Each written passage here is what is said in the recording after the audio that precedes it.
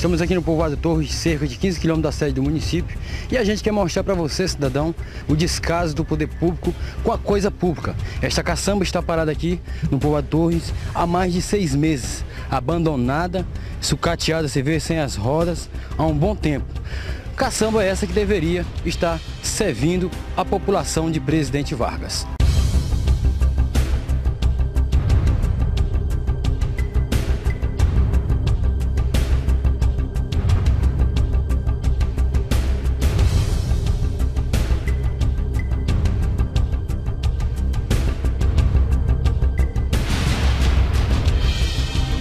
Estamos aqui dentro do ônibus escolar, que deveria já estar arrumado, né, para carregar os alunos onde irá iniciar as aulas já em breve. Está nessas condições que vocês estão vendo aí, imunda, suja.